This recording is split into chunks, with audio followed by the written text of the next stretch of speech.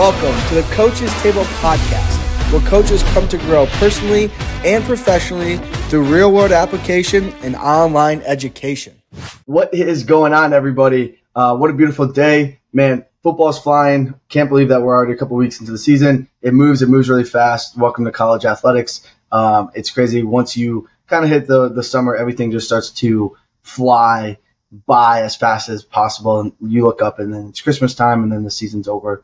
So it's pretty crazy. But um, guys, hey, real quick, here's the deal. If you like what we are putting out, just a huge favor, share the show. Okay, that's my only ask for you. That's my only uh, request for you. Do us a huge favor, share the show. The full length episodes are on YouTube. Okay, if you're not subscribed to the YouTube yet, then go ahead and do that as well. And then the other thing, do us a huge favor, leave a review. Okay, the review is probably the most important thing, and here's why.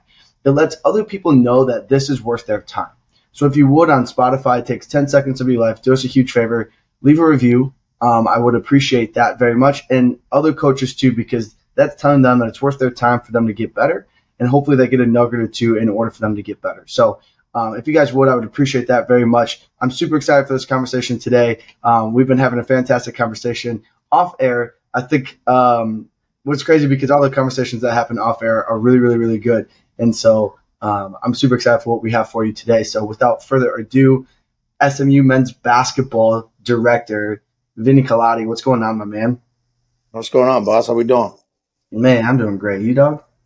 I'm good, man. I'm good. Just making it work, right? Yeah, man. Hey, so like for everybody that obviously didn't hear any of our conversation beforehand, but um, let's just kind of pick up where we left off because I thought it was it was fantastic. Um, you've been around basketball for a long time, right? You've had stops at Georgia State, SMU, Boston, and a couple other places as well, um, and which is awesome. And so where we were kind of at is, you know, working with head coaches, at least understanding what they want, and, and from the standpoint of the athletes, and coming back essentially off of an extended break and talking about how things are subjective and objectively based and one thing that you mentioned I thought was great was that, you know, baseball has done a great job of becoming very objectively based and basketball is still kind of, you know, behind the times from that standpoint. We're still very subjectively based. We're still very much like, I think this, I think that. And it's like, well, we have the information, and the technology to um, objectify the stuff. Like, why are we not doing that as much? Kind of, what are your thoughts on that? And why isn't it, you know, kind of moving as fast as some of the other sports? You know, I, basketball has always been kind of a this is how we used to do it ty- mm. uh, type of deal. Um, and for a lot of things, you know, people are successful in what they do and how they do it. So when you get the opportunity to have the technology, I think a lot of times we see the information, we understand it. Sometimes it gets lost in translation when you're speaking to your head coaches. Um, mm. You know, mm. we tend to talk to head coaches as if they're a strength coach, a performance coach, a therapist, a, a, athletic trainer, and sometimes it doesn't always work. So it's really just trying to find a couple numbers that you can say, okay, this is it. This gives us a good amount of information. This is what it's telling us. For the most part, they really just want to say, okay, was this intense enough? Was it not? Uh, and I think at the end of the day, man, no, it's their program and it's our jobs to always find a way to increase our workload capacity the way that we have to so that they can sustain what's going on. Uh, college basketball, you know, at the, I'll speak more for the division one level. I don't think it's really that much different throughout the divisions, but you know, we do have the shortest off season of any division one sport. Yeah. So you're going to have a lot of time with them and you have to be able to manage it the right way. And, you know, if a coach wants A, then you got to give him A. Whether or not you agree with it or not, that's just what it is. As long as we're not doing harm to these young men and women, we can train them in a way that's going to get the, the response that the coach is looking for. And then it's our job just to continue that path and move forward and always have a good relationship. Because I mean, you can't always be competitive. You got to pick your spots. You got to pick. You got to pick your battles. And I think that mm-hmm. was one thing early on in my career that was you know, I'm always, and early in my career, I'm like, you know, we got to do this, we got to do that. You know, from a sports performance standpoint, it's like, well, we're not the strength and conditioning team. We're a basketball program, we're a soccer program, we're baseball, you know, whichever program you are. And you got to get them ready for what your head coach wants. And it's, I think the other part that is really important, but sometimes hard to find is matching what your beliefs are with an individual that you want to work for. And I've been fortunate enough to work with my current head coach going on year four. And our beliefs and how we do things, how we want to accomplish things are very, they're aligned. And I'm not always having to be like, okay, we're doing too much of this, we're doing too much here. I'm lucky enough that we have some technologies. We got force plate data. We have Kinexon. Uh, yep. I don't always have to go with them with Kinexon and say, hey, the sheet says blah, blah, blah. We have really good dialogue daily to know that, okay, if coach knows, you know, we stepped on the gas a little bit a lot these last uh, couple days, we need to back off. Or, hey, coach, today's a good day. Let's jump them. Yeah. But again, at the same time, there are going to be instances that we're going to have to, that we might have to go off script because coaches have to teach. They have to find ways to get these young men and women to understand schemes, plays, and all that. So it is our job to just increase that capacity as best we can and get the coaches to really have trust in us so that we can do that. Because without that, then yeah, you're going to have issues going back and forth. So it's really that communication piece and being able that you're aligned with someone who has similar beliefs. And how have you kind of like throughout your years developed that relationship with them? I know time is such a massive factor, but like for somebody that let's say they just got to a new spot, they don't know the head coach that well, maybe they don't know the staff or or maybe they know one guy or two, like how did you kind of start to develop that relationship and that trust with you know a coach before you started making recommendations or did you start making them right mm. away because i think a lot of people find themselves in that like oh i know everything or at least i know a lot so like why aren't they listening to me why aren't they doing mm. this how did you kind of maneuver that throughout your time earlier, and then how do you see it being different now? I mean, earlier when I first started, it was I was a young. I mean, I was 23 when I got my yeah. first Division One job. Yeah, I got blessed enough that uh, you know I got to work at Boston University, and Coach Glenn Harris, and then Coach Joe Jones, who was our basketball coach, gave me my first shot. But I definitely was hard headed because it was like, man, I'm you know this is what we're supposed to do conditioning wise. this is the energy system development. And it's like, wait a minute, yeah, man. This ain't your program. This is how we need to get it done. And at first it's hard because when you're young, and I've had this conversation with, with GAs. Yeah. They're ta- they, they want things done, but they might not always know how to do it because they're just, they're, they didn't research what, what we did. They didn't go to school for what, for what we did. So it's our job to relay that information as best we can. Mm-hmm. And at the end of the day, if they don't want to accept it, then they don't accept it and you move on. And when you do it from the jump without building that relationship, it can be almost, I want to say territorial, but mm-hmm. it's almost like, wait a minute, I've been the coach of this program for a while. You're coming in here day one telling me what to do. And yes, we've built a relationship through the interview process, but you still got to kind of compound that thing. Uh, yeah. Honestly, with with with my current head coach, Coach Lanier, man, he was. There was a lot of vetting being done just for me to get the position. Whether it was his previous strength coach, who I was, who who I know in the field, to other coaches that I've worked for that he knows. So he got a good understanding of who I was. Um, and I think the type of personality of what th- that that I am, it worked well with what he was trying to accomplish and the environment he was trying to bring. Um, mm. When it came to the flip side of, okay, do I just jump in? I think that took over the course of years being in this field to know that when I went to him day one, it was like, all right, I need to see how his, pra- how his practices are like. Because I do think a, a lost art in us with basketball is you have the ability to watch a lot of games and watch a lot of film. So if I'm interviewing with a coach, I should know their coaching style. I should mm-hmm. know if they're a run and gun team. I should know if they're defensive mind and they want the games in the 50s. Like you should have an understanding of what that coach is looking for. And then you got to take time, ask questions, uh, what they're, what, what, what kind of program they're, they're trying to run, schemes, things like things of that nature so that you know he's going to be a conditioning based coach. Okay, that's got to be a priority. We got to get stronger. Yeah. We got to get more explosive. But conditioning is important to my head coach, so we got to condition him. Um, if he's not every every coach loves conditioning. Yeah, yeah, yeah. Some yeah. coaches some coaches just wanted a little more because of how they play. For us, Sure. conditioning is important. We've been able to knock on one. We were really durable last year. We had a 99% participation rate. Um, we only had two guys miss games. Both were due to non-contact.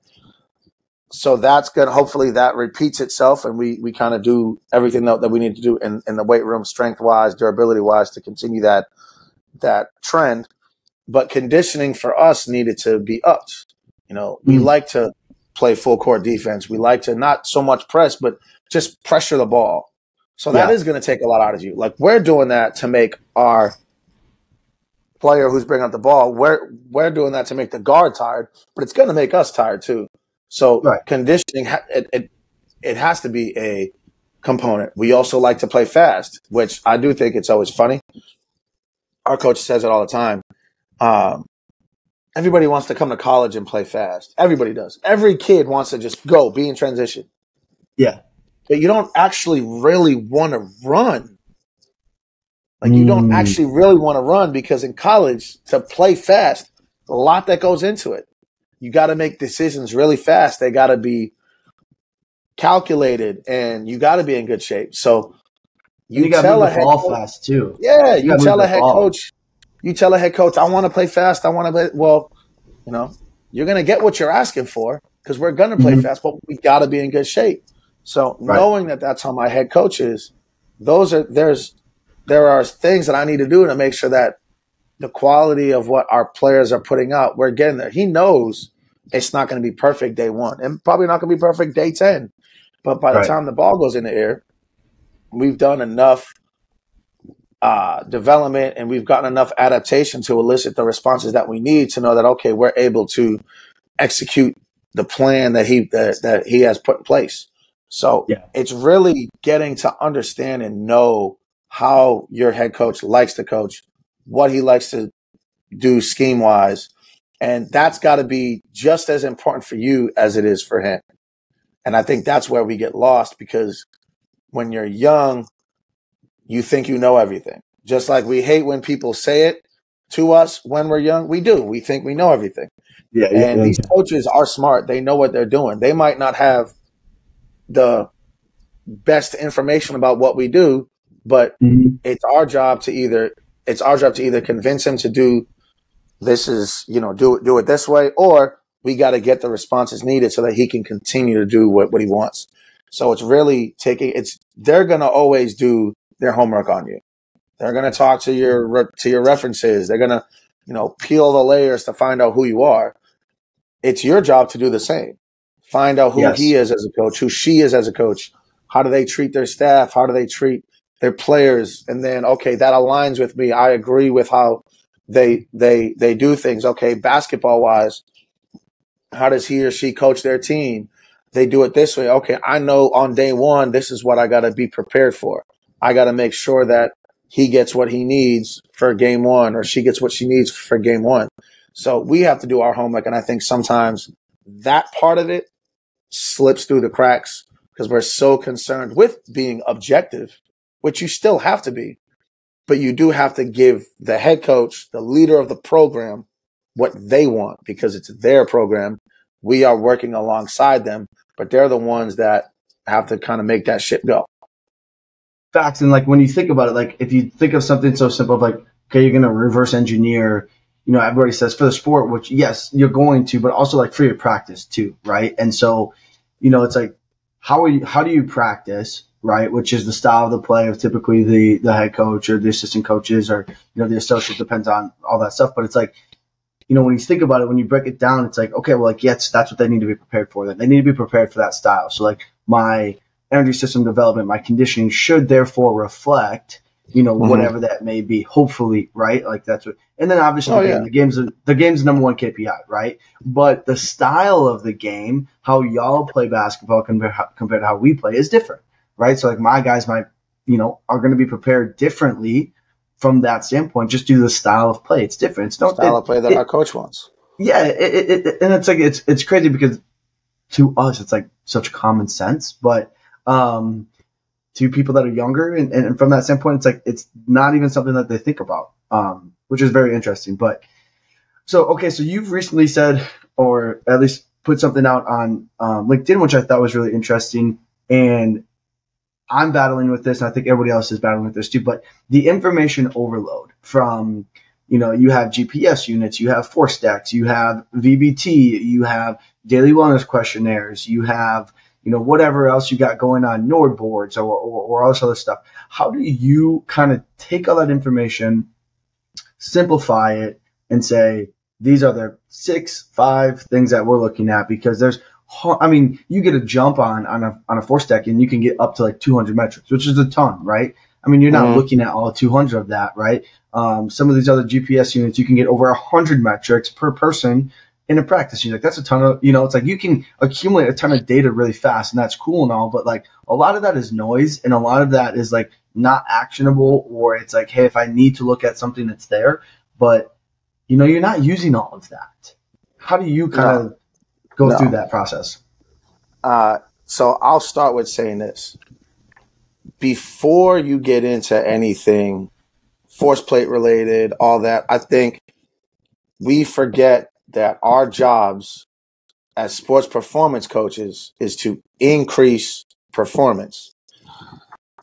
Crazy. And I've said this when I've when I've it's it's it's nuts. It's it's wild because it's like people talk about all these metrics and being sports scientists and this and that.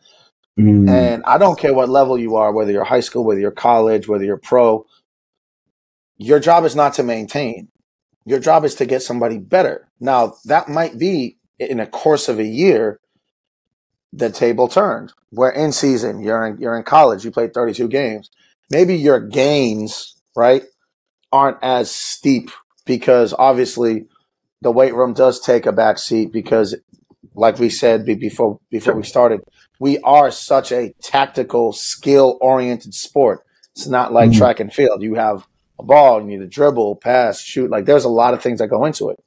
So your ability to get somebody better in season might be one, five, ten percent better. But you better get one, five, or ten percent better as many days as possible.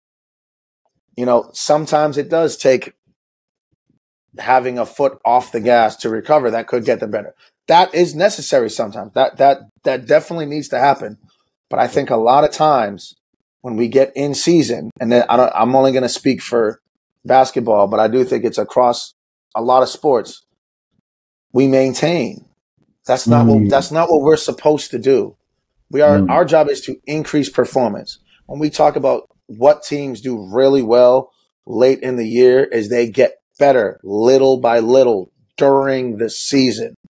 That might be 1% better every day, but if that's 1% better every day. They got something better every single day. That wasn't, they did a, they did a maintenance block. You don't need to do all that. Um, yep. The other part is we got to know how to train people. And I think this episode is sponsored by TeamBuildr. TeamBuildr is the number one performance platform for strength coaches around the world.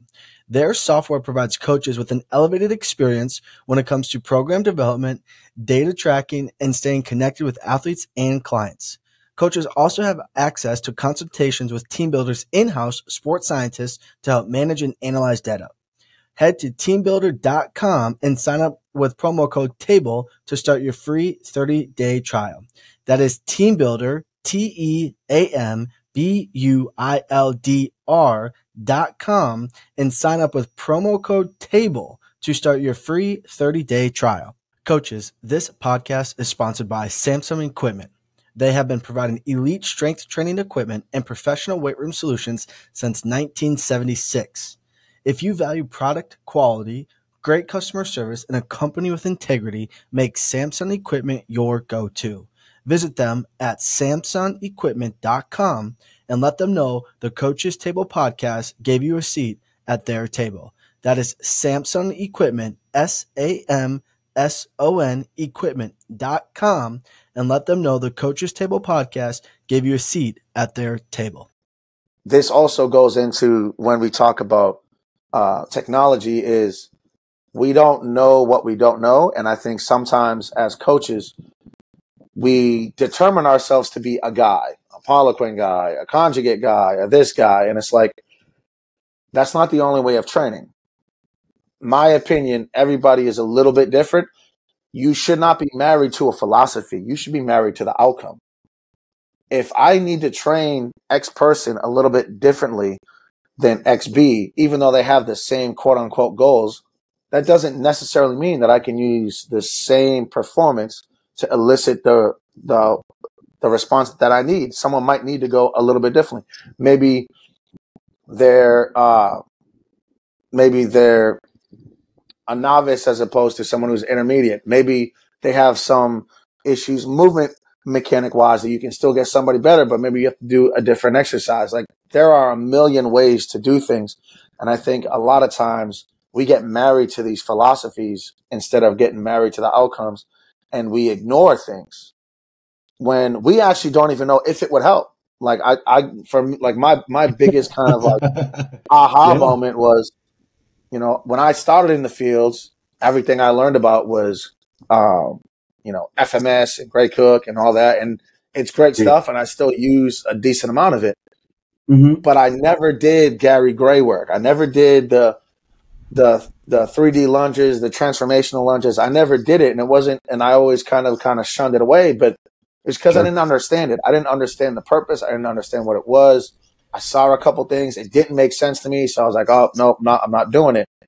And instead of going to a clinic, an online clinic for COVID, I did a Gary Gray course. I liked it because it started. There was some things in there that I didn't agree with, but there were some things that I was like, you know what, I I can utilize that. Can get some that will if I get this on if if I add this to my program, that will get somebody better. And I did another mm-hmm. course, and then I you know went off the map and I started doing something else, and you know you go into uh, de- uh deficit training that that Coach Karen ta- that Coach Karen talks about. You start going into conjugate. You find ways like there's a lot of ways you can utilize different modalities to elicit the response it's just, mm-hmm. is that modality good or is that modality going to elicit the best response for that person? If it's a yes, then you do it. If it's a no, then you need to find another, uh, another modality to use. And I think sometimes if we just get stuck into doing the same thing with everybody, yeah. If you like for us, we have 15 guys. If three or four guys get ridiculously better, but the other 10 or 10 or 11 guys don't and we're on the same program or they got a little bit better i'm doing them a disservice because if i had just given them a different philosophy maybe they would have responded better right. and i think that's part of the thing is making sure that we kind of fill as many buckets as we can when it comes to training and really understand what gets people better not just i like this person's philosophy and i'm not telling people not to have a philosophy you definitely need to have right. your go-to but yeah, you should sure. learn about other things because there's a lot, you know, the whole there's a million ways to skin a cat is one way to say it. I just think there's a lot of things that you can put together and create a philosophy that is really good. And I think that's what I've done is I've kind of combined with things that I've learned when I was with Coach Boyle to Poliquin to a little to to a conjugate style to AFS. Like I've created a different way that I think our guys have done a great job. And, you know, I, I have, we have the force plate data to show people who have gotten better from June 1st to March 15th when the season ended. From November 6th, from the first game to the end of the season, their verticals still went up. Their time to take off went down. Like they got better in season. And that's more right. than just a couple cases. So having a diversified portfolio for your strength work is key to becoming a really good coach. And I, I think to being a really good coach. And a free plug I'll give is Mladen's Agile Periodization book. I think that's one of the best books out there. If you haven't yeah. read it, I think it's phenomenal. Yep. I think it touches on everything and he kind of goes into that detail. But when it comes to technology, uh, when we get back to that, it's what are you going to use if you're not going to use it, then there's no point in tracking it. If it's not going to give you information, there's no point in tracking it. You're just doing it just to do it. Connect the for, for us the the uh, Kinexon, I utilize it for myself so I know what's going on, our training load. I don't always tell our coach, hey, coach, this is what I need you to do. Do this. Because again, it's his program. What I do do is when I see the trend from last year to this year, and I know, okay, game days are going to elicit this response. So after a while, we've practiced. I've got some data points. I can now go to coach and say, all right, this is what we're looking for. These are the days where we did these drills and it gave us this response. Yep. I'm not saying you have to do this exact day, but I'm saying this is a perfect day for a high day. This is a perfect day for a low day. This is the blueprint that you used on both days. You don't hmm. have to use the same plan, but this is how we did it. This is how you ran it. That's more of how I use my Kinexon when it when it comes to relaying the intensities for our coach because he has to make the practice plan. He's the sport coach. He knows how to win the games. It's my job to do human performance, but he has to plan it the way that he sees fit so that they learn, they understand the schemes. The key, well, and like, I, and like, like when we were talking about like getting deep into March and like making runs, is like that to me, and, and maybe to you as well. That information of the differentiation between what a high day, low day, what a drill provides, or what it, it does from a both mechanical load, from a central nervous system standpoint, or from a recovery standpoint, right? Like, hey, coach, just as a heads up, these 10 drills are, you know, if we go red, yellow, green, these are our harder drills. They do the most mm-hmm. intense stuff. Um, doesn't mean we can't use them as a heads up but just know, like, when we do put these in, if we are tired and we do too many of these, you know, that could be the reason why, right? Yeah, then here's our yellow ones, here's our green ones, just as a heads up. So then we can kind of marry some of this stuff up a little bit. And it's and so it's our can, job to give them that catalog. Facts, exactly. But the problem is a lot of people aren't doing that. They just look at like total distance, which is great, and like it's a metric. It's something that you need to look at, but it doesn't tell the whole picture either. And yeah. so like if you only look at that one thing, I think you're missing the boat tremendously because if you aren't understanding like what the drill selections are, what what what you're doing consistently too, because it's no different than us training like strength uh-huh. coaches. Put your strength coach hat back on. If if if you know the simple one, if I don't ever bench or I don't do any upper body horizontal push movements, right? And then I go and do bench. I'm like, why is my bench down? It's like, well, we, we haven't done that. Yeah. So like, why am I why really- am I overly sore? It's, you haven't done that. yeah, like, like it, it's no different, right? Uh, and so, so, it's it's it's just a different methodology. It's just a different right. attribute that you're trying to look at. Um, mm-hmm. Mm-hmm. But I think like so, I haven't I haven't used Catapult in a while. What I yeah. pay attention to the most when it comes to Kinexon is our rate of acceleration. Mm. When I see a significant decline after practice, that's when I know, hey, coach, we dropped almost almost twenty percent from yeah. our for our acceleration. That's when it's like, hey, coach, our next day we got to go down. That yeah, to me is a key metric because you're seeing because that's what our sport is: acceleration, acceleration. Excel, that's that's what it is. Uh, Kinexon also does a change in direction count, which I use more. Me and the trainer use more for uh, kind of seeing if we have anybody who pops up and says my Achilles or my knee, which knock on wood, we haven't had sure. any. Um, I can definitely go over some of the protocols that we do for that. But uh, yeah, absolutely. that's another met. That's another one that we look into a lot because that just tells us obviously that is going to be very demanding on the body to change direction in excessive amount of times. But those are really the the two ones from Kinexon that I look at a lot. The rate of acceleration. If we see a big decline, if we see that 15 plus percent decline, then we know fatigue is a factor. Yeah. We know fatigue is a factor. We know we need to be able to relay that information to our head coach and say, hey, and at times we need to have a hard day when we're tired. Mm-hmm. I think that gets I I think that can be a big error in, hey, we're tired, we need a lighter day. I think many times that is true, but I think sometimes they need to be calculated yeah. We need to have a intense day when we are fatigued. It has to be calculated. You cannot do no harm. But I do think our bodies need to go through something with bat because of the sport of basketball, because it is so skill savvy that doing something yeah. when you're tired does have significant benefits in our game. Because, you know, For us, it happened, you know, un- under a minute. Things can happen when you're tired. You have to be able to, you have to have been there before.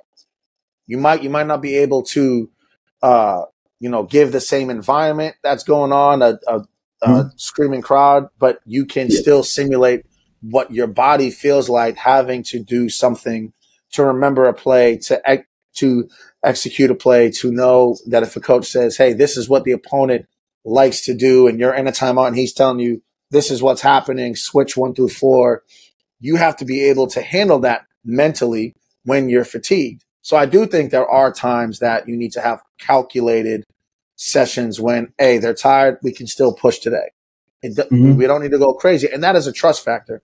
But yep. we definitely do need those um, from uh, from from an, from an on court standpoint.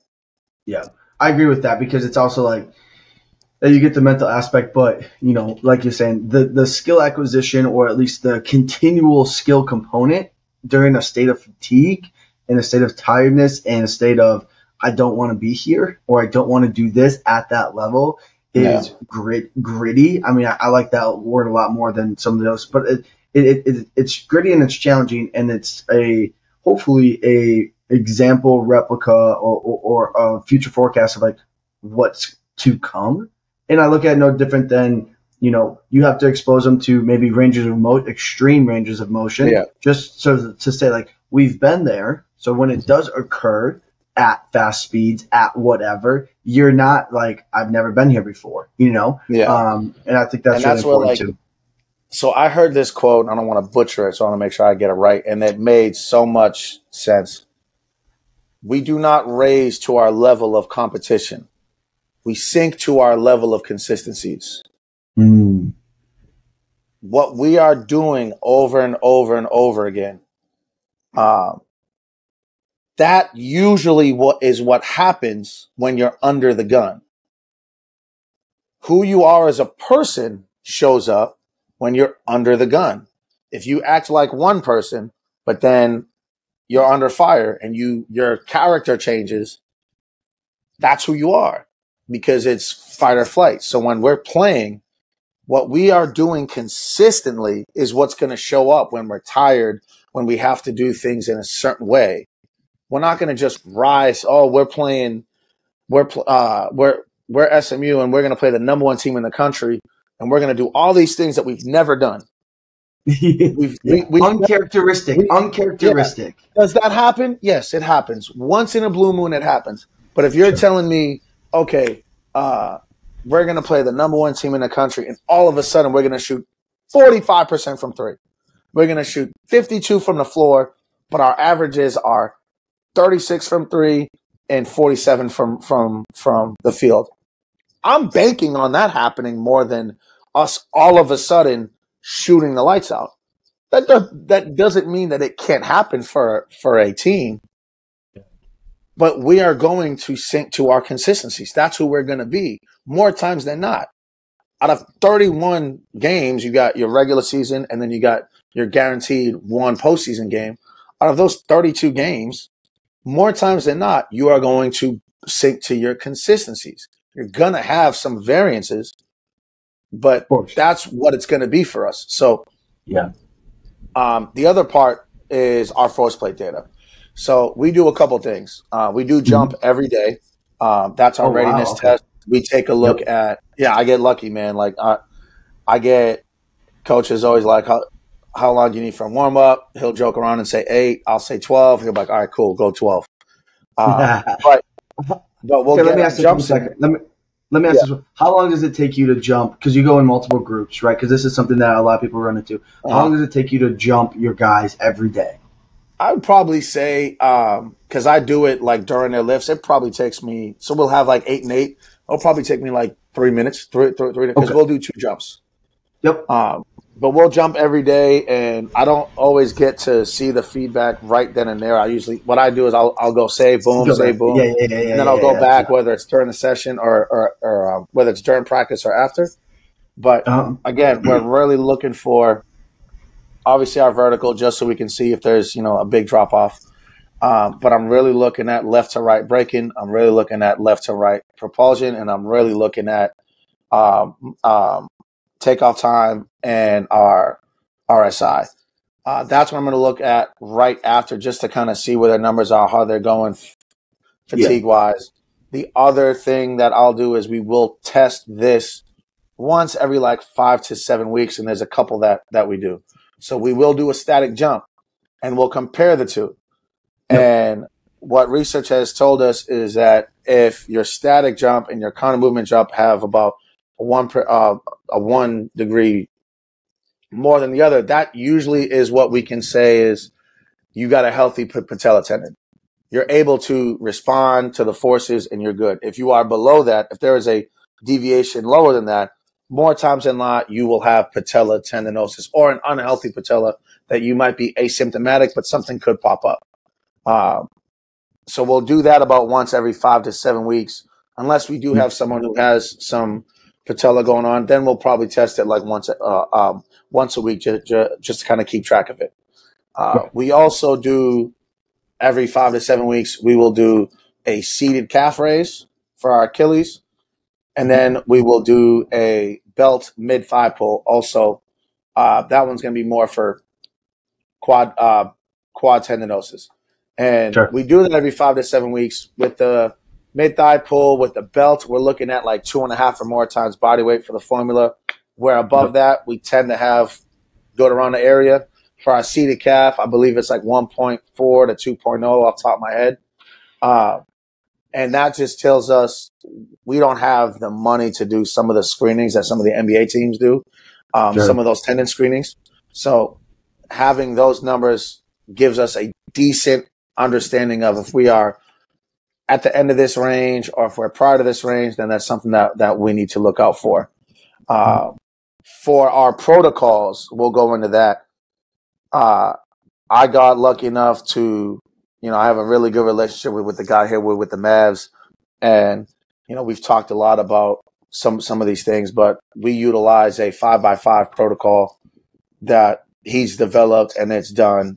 He, it's done great work with, with, with the Mavs. He's probably, he's, you know, in my opinion, one of the best strength coaches um, in the NBA, just how he kind of structures his stuff and, and the information that he has and he utilizes um, but we do a five by five protocol. Each rep is a five second ISO, and we mm-hmm. load up. You're talking two and a half, three times body weight. And we will do that on a leg press. Um, our alternatives are we'll put the weight all the way up on a leg extension so it doesn't move, and we'll get into full flexion, and we'll yep. do the same thing five by five, just like an overcoming ISO, which again ISO. will elicit a similar response. When we're in full yep. flexion, we're looking at quad tendon. When when when we get that 45 degree, we're, we're looking at yep. patella. So those are our options. Yep. Um, mm-hmm. And then for our calf raise, you know, I think it's again like when we were when I was younger, you know, calf raises were like, oh, those are you know, oh, it's just calf raises. You don't need to do them. Um, and yeah. I think I really think the last I'd say five to ten years, things really popped off and just how important they are to knee health, uh, foot, everything. So for our seated calf or our squat calf raises, anywhere from three to four sets of eight to 12 reps, mainly because the soleus is not an endurance muscle. So I treat it more like a, like, like I'm in a, um, in a uh, hypertrophic range. Whereas if okay. I'm going gastroc, standing mm-hmm. or single leg, we'll go 15 to 25 reps and we'll go yeah anywhere from two to four sets. Yeah. Um, but we'll do a seated calf raise on our force plate, not testing wise, but we'll do it once every four weeks, and then we'll actually legitimately test it every about five to seven. Um, and that's just to kind of make sure that we're seeing that information so we can kind of track it a little bit. Um, sure. I don't really put unless something kind of flashes out. I don't really put too much stock if I if I add it in on week three or week four, but it's really that usually around week six or week seven is when I'll be like, okay, let's dissect it and let's look yeah. at it. And, um, yeah. It doesn't, your heel does not need to be off the ground a lot. That was the first error that I had. You're talking about you should be able to fit a piece of paper underneath your heel and that's it. Like it yeah. should not be up a lot. So, um, I got a really good facilities team. They let me drill into the floor. So we anchored uh, a pin in, in, yeah, we anchored a pin into the floor in between our force plates.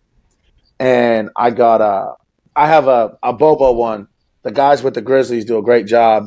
Me and Eric worked worked together years ago, and then Chris Chase is a phenomenal coach but they actually like strap dudes in, like they got anchors on each side, like it's a seatbelt, so they can't move. Yeah, that's cool. That's what we need. Yeah, yeah. Theirs is way better than mine, but uh, I'll sure, do sure, sure. a chain, and I'll get a T bar, and I actually get two Sorites. They fit perfectly around the quads of our guys, and okay. we'll put the bar over the sole right so it's flat, so they don't feel any pressure on on their knee. Uh, mm-hmm. And we'll go our seated calf raise that way, as opposed to using a pad. Because if you use a pad, that foam could inhibit some of those scores, so you're not going to see as much. Because the yep. Sorites are harder, you're getting that. Um, you're getting as close to a number as as as you can. So sure, sure, sure, sure. That's um for those of you that that are new to data force stack testing, understanding why the lower body is so important, not just jumping, but why the calves are so important for the Achilles and for the knee. Go back, rewind this, five, six, seven, eight times because what he just gave you was a very mini masterclass on why that stuff is super important and how you can utilize this stuff in a efficient manner to get the information that you want, right? I think everybody's like, I think everybody's made the mistake, I should say, of, oh, it's just calves, like it's not a big deal. And it's like, well, for basketball and for football, it's a really big deal, actually. You know, yeah. and you could use, you could pull all these examples, right? But they they are as important. And I think like when we talk about low hanging fruits and we talk about you know big ROIs for low um, um, hanging fruits, I think cat direct direct calf work is a massive massive ROI for very little investment um, from an energy standpoint, from also the standpoint as well, and it can help you protect your athletes and increase major. Their, yeah, you know what I'm major, saying? Major for yeah. something so minor, for something so like. Yes, you need to be able to create force. Every you need to be strong. You you you you yep. definitely obviously need need to work that force velocity curve. But you're for talking sure. about adding in calf raises, tib raises, things that are beneficial for your health, knee health, mm-hmm. ankle health, Achilles health, doing big toe work. Like these are things that take less than three minutes. That exactly. adding them into your, adding them into your program, whether it's on the lift or having them come back. I mean, I don't know about anybody, but like our guys, mm-hmm. we have a great culture. I hate using that word. We have a great environment. um, yes, environment. Yeah, we have a great environment, man. Our guys do a great job. They're on the court a ton. They'll they'll come back. They shoot on their own. They're always trying to find somebody to rebound for them. They yeah. do a phenomenal job. You know, I'm definitely blessed to work with the guys that I work with. They're really they care about their craft, and I think you know we talked about the effect of social media. I think some of that kind of got drawn out just because we. I don't want to go too much into social media, but obviously it portrays people in different lights. You don't see the full mm-hmm. story; you see a snippet, and I yep. think our guys really care about getting themselves better. We have a lot yeah. of guys that really want to be pros. I think you know, I I do think the world of them. Obviously, things got to go in their way, but they work a ton on their game, and they do what is necessary to take care of their bodies. So, if, so if I say, hey man, you know, for us, our guys have to complete their protocol three times a week. Yeah. There is no adjustments. It's hey, I don't care how you do it. Monday, Wednesday, Friday, Monday, Tuesday, Thursday. As long as it is not three days in a row, and it's three days a week, as long as you get in that protocol, that's all I care about. So even if you don't want to put it into your lift and you just want to say, hey, man, you got study hall, we're in the same building as study hall, boom, come in, five minutes, done. One set, five reps, five seconds. One set is just under a minute. Yep.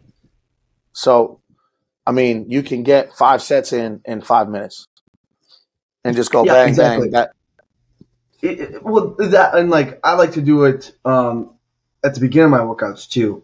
And the reason why is is you know because it's a little bit more controlled. Um, the guys can focus a little bit too, and it helps with like a mental standpoint. Because let's be honest, sometimes they come in and they don't want to do anything at all, right? mm-hmm. And so I give big them something power development.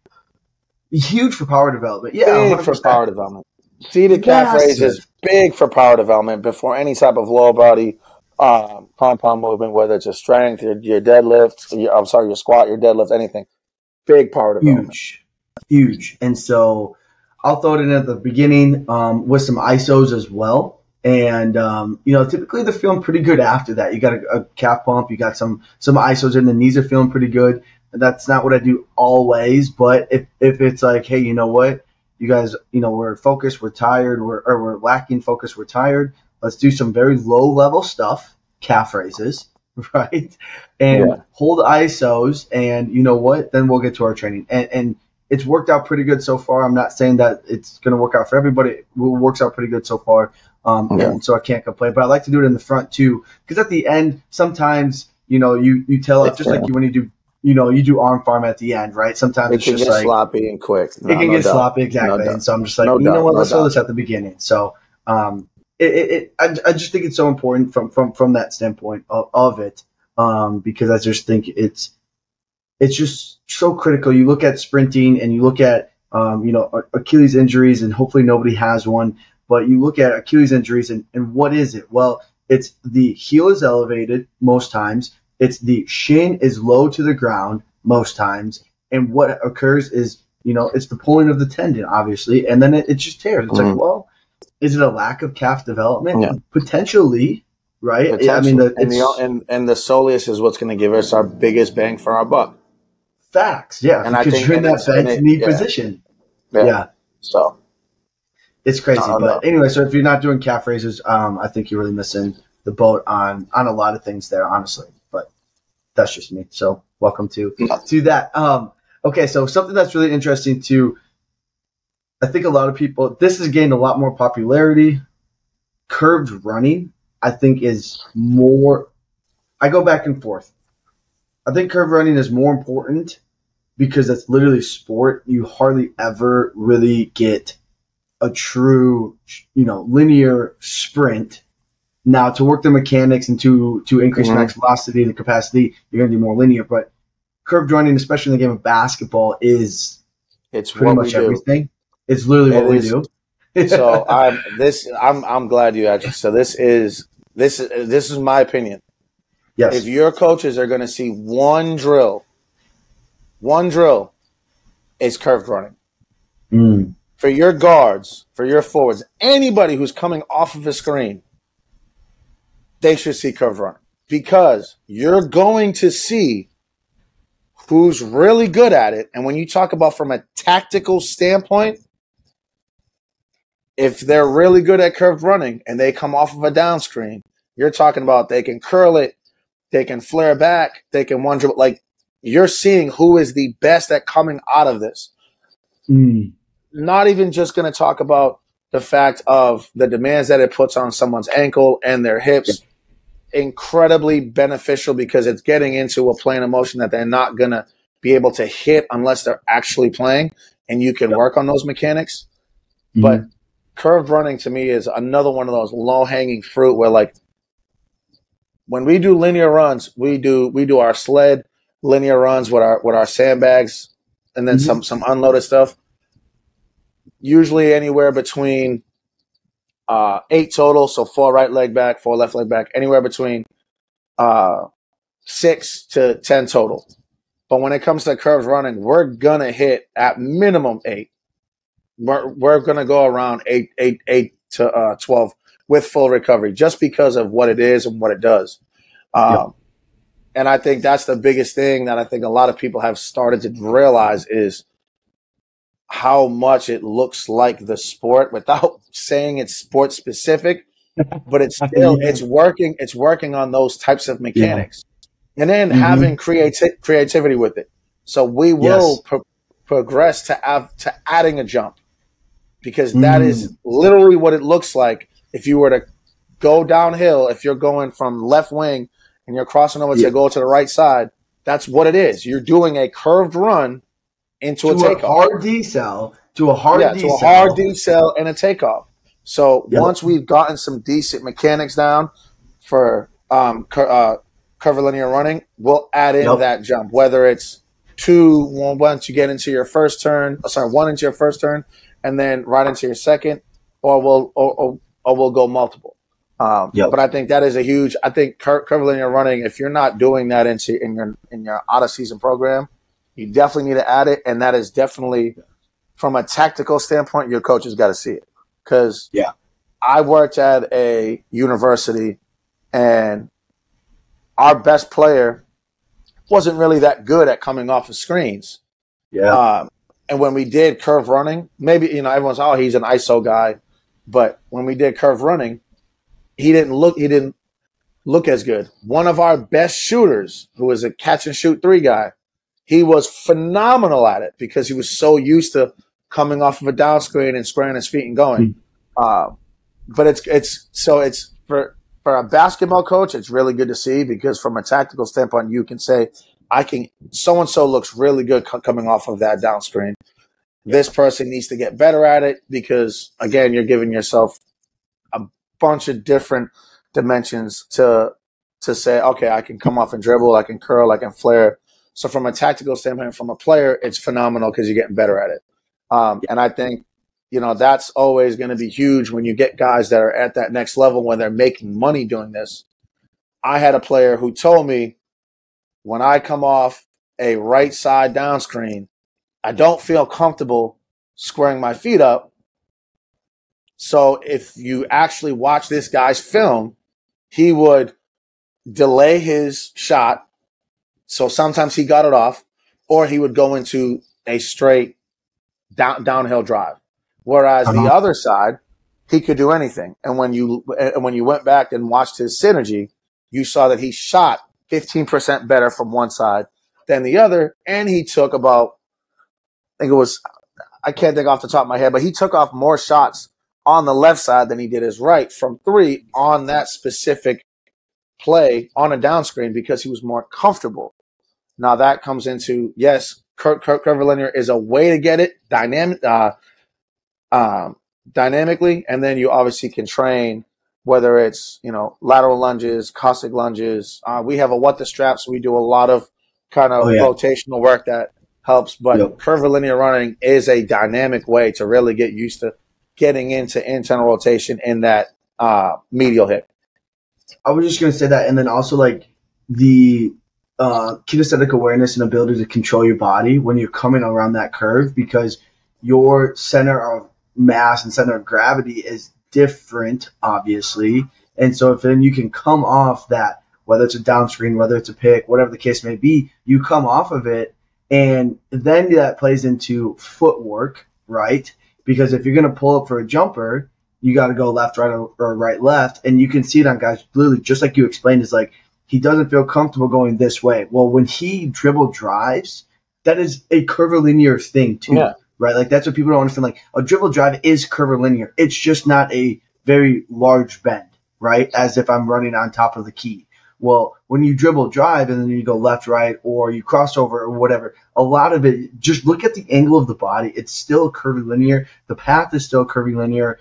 And the foot, that's why I think it's, it's, I've been getting more interested in learning about the foot on the outside edge, on the inside edge, and all this other stuff because it's like that's literally sport. Um, but all of that action is curvilinear. All that stuff is curvilinear. And if you're not getting it, or if you're not preparing for it, if you're not preparing to then go curvilinear, uh, decel, change of direction back to a curvilinear, because that's what happens all the time, and then a jumper, mm-hmm. or then a dribble drive, or then n- another curvilinear, right? Like, if you're not preparing for that, I mean, and if you're not doing that at fast speeds, it's um, I don't know. I, I, just think you're you could be no, missing 100%. the boat tremendously. I would have yeah. loved to see. I would love to see someone like Steph Curry or like Rip Hamilton. There's some people don't know who Rip Hamilton is. He was one mm-hmm. of the mm-hmm. best, you know, coming off the screens. But I would love to see guys like that, like guys who are who made a who make a living coming off screens. I would love to see how how they do it, and I could probably almost guarantee that they'd be the the like Steph Curry. You don't see him as the best at it.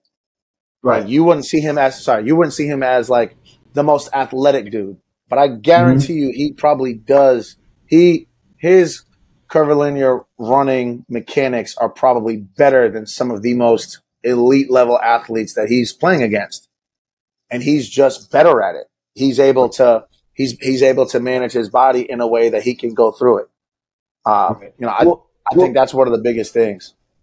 Well, this is where we can, I think, you know, when you break sport down, when you look at it, this is where I think we can integrate the physical performance and the technical technical. Because what happens when you come off that that downscreen, that pick, or whatever the case may be, is the faster you can do that, you're creating more time right? More time means you can either get a shot off, you can dribble drive, you can have a little bit more patience, you can step back, you can do whatever you want, right? And so the faster you can get downhill, the faster you can come off that, and you have the tactical advantage due to physical preparation, you then now have so many more options in your bag, just like you alluded no to earlier, which no allows doubt. you to be special, right? And so it's like when people are looking at this Yes, hard to guard, man. Hard to guard. Man, this, so you have all these options. You have you're, you're hard to guard, and you know I don't care what level of college you play at, NAIA, three, two, one. You're all elite. Every one of them are elite level athletes. So, like we had talked off air, those the the, the smallest changes matter the most mm-hmm. because it is a split second that you might have to get a shot off, to get position, like all yes. that matters. So this drill specifically for guards, bigs, it's going to help, especially the way the game is now. But specifically, yeah, yeah, yeah. guards one through three, guys who are coming off down screens, like for them, it is a must. It is mm-hmm. a must. Like we have some bigs that aren't that do it a little bit. Um, I throw it in there because just of what it can do for the body, the body mechanics, the body awareness. But their mm-hmm. theirs is a little different. They do a lot more side facing sprints. I think if you're a big sure. man, side facing sprints are are key because that is literally them getting into a screen, get out of the screen. That's yep. going to be huge. So there's ways to say that okay, my agility work can be seen as sport specific. You can sure. explain it that way. You can explain to a coach, "Hey, we're doing a side facing sprint with our fours and fives because you have them going into screens and sprinting out. Well, this is what we're working on. Complete dead stop, go. All right, progress, add band, add chain, add sled. However, you can pro- progress that. So, yep. everything that we are trying to do is always finding a way to relay to these sport coaches. And in basketball, the best way is to show this is how this is what someone does in a game. This is the drill, and it legitimately correlates. Correct. Not like and some then, sport specific IG post of this work, and like these legitimately can translate and correlate to what you will see. You can actually make a tactical find and say, so and so is really good at this. Let me just see what, what, what he looks like coming off a down screen. Wow, that right. looks great. He can do all three. He's harder to guard coming off that, and he gets set, uh, separation. Boom! Like you're giving tactical advice without knowing you're giving tactical advice. Yep. And then you add one other layer, and now you can make a decision, right? And so, yeah. whatever that decision may be, based upon your um, technical and tactical positioning, due to hopefully some sort of physical preparation, you can now make decisions. And we know the speed of the game is dictated by the speed yeah. of the ball and, and your decision making abilities. And so, guess what? Now we've hopefully, therefore, helped everybody make better decisions, yeah. faster decisions, more decisions, uh-huh. more options, and then move the ball faster or score the ball faster, which therefore objectively. objectively. Right. Objectively. Right, right. Right. It's, so, it's crazy how you can you can break it all down, put it all together. yeah. You know, but, objectively. So man, man. Um this Vinnie, this has been fantastic. This has been what I would consider one of the best ones that I've done for multiple sure. reasons because of the amount of layers of integration from a holistic standpoint, you know? And so I think it was it's been fantastic. Where can people find you online if they want to reach out to you? Oh, uh, Jesus. I think it's Coach. I think both are Coach Calautti. Um, okay. Instagram, Twitter, LinkedIn is just my name. I don't. We've talked. I am trying to put out more like content, but uh, yeah, yeah. I'm working on it right now. You'll see my little girl. She's two years old. You'll you'll see her a ton. But uh, I'm doing my best to put out. I've been pressured by everybody to throw some more content out there. So I, I did really good last week. I'm I'm a little slow. That I'm I'm slow this week. I haven't done anything yet, but um, those two de- yeah. uh, definitely. Uh, I'm not the greatest at responding to emails. I know I'm still have to get back to a couple people. Um, I haven't yeah. forgot about you, but V C A L A U T T I at smu.edu. Shoot me an email. Um, and then, you know, if, if, if we want to connect, whether it's a text or a phone number, then, then we can go through there. But not, you know, I love to talk about this stuff. Um, I do the best I can and try to make sure I respond to everybody. I will say once it turns like seven o'clock, I'm home. I'm with my little girl. I'm yeah. I'm I'm I'm daddy mode, but um, yeah. you know, I'm up. You know, before the sun comes up. So whenever somebody wants to get a call, you know, if we can get something scheduled out, I'd love to. Uh, I haven't forgot about the people that I haven't been able to reach back to. I will be doing it as soon as this is over. But uh, no, definitely, you know, I, I, love to talk about this stuff, and then I love to learn, man. I, you know, none of us have all the answers. Uh, you might have something that might, you know, bring my whole thing together. So uh, yeah. definitely reach out. That's one thing that I, I do appreciate you that you consistently um, put out there is, you know, you don't know what you don't know, and we need to be lifelong learners. And I think a lot of times that we struggle is that we aren't continuously learning. And so we get into this dogmatic approach of like, this is how it always needs to be this because I've always done it this way because blah, blah, blah, blah, blah, blah, blah. And it's like, no, like you mentioned multiple times on like who you've learned things from, from the Mavs, from the Grizzlies, from this person, from that person, and how you've integrated it. And yeah, I think we're the, I don't, I don't think I'm gonna butcher this, but like the Steelers of everything, but the masters of none, or like the crazy mm-hmm. none, or something like. You can learn something from everybody, um, and try it, and if it doesn't work or you don't like it, you can. Then you don't. Then you don't like it. I think that's the biggest thing for young coaches. Yeah. Uh, you might actually agree with something. You might actually find a thing or two that you agree with. If you don't like it, it should be because you learned it.